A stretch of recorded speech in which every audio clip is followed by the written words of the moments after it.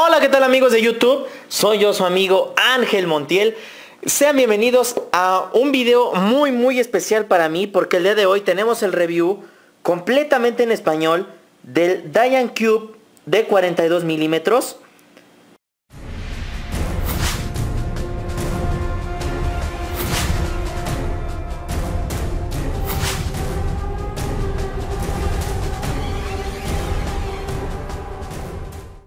Ahí está, ahí está, sí, así es señores.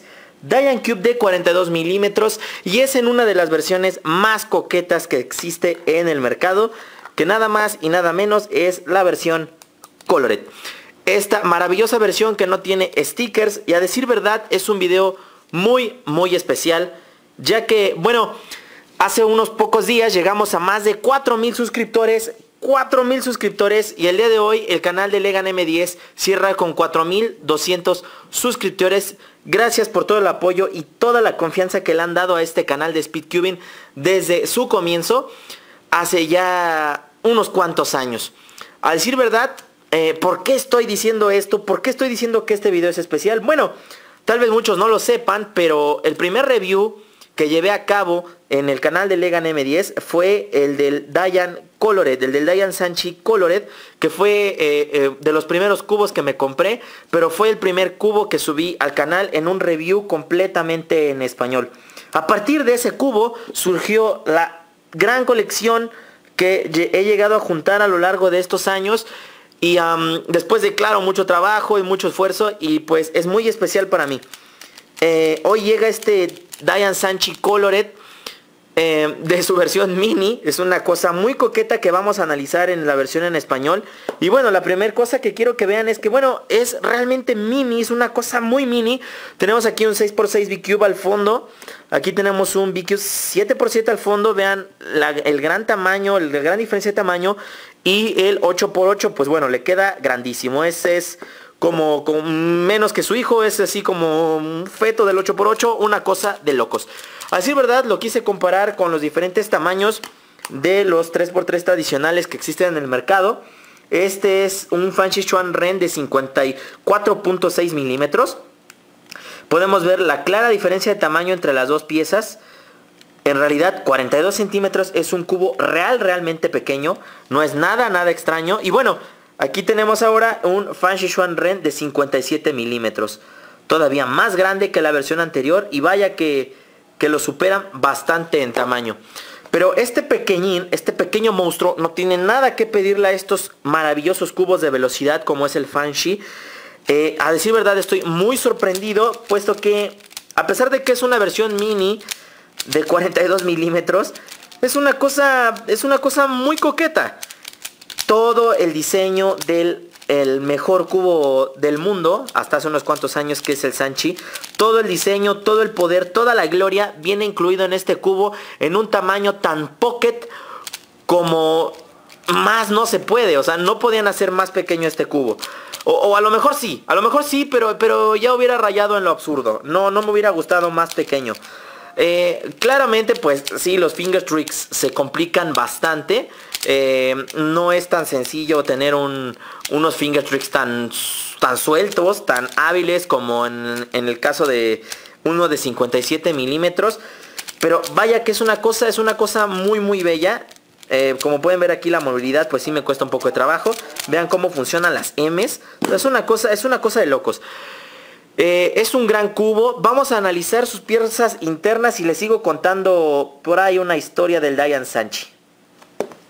Tenemos aquí las piezas del Diane Sanchi Mini.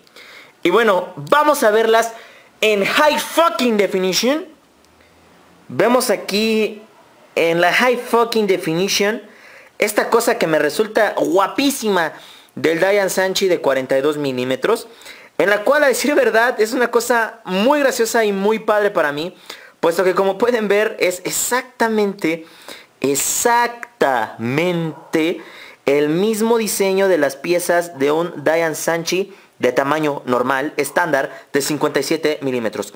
Y es una cosa guapísima. La verdad es que eh, eh, es una de las cosas que más me sorprendió. Es muy difícil sacarle las piezas eh, a, desmontar al Diane Sanchi de 42, milímetros.